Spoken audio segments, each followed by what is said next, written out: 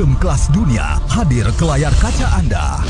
Someone is trying to kill you. Seorang pengantar paket misterius berada di posisi paling sulit.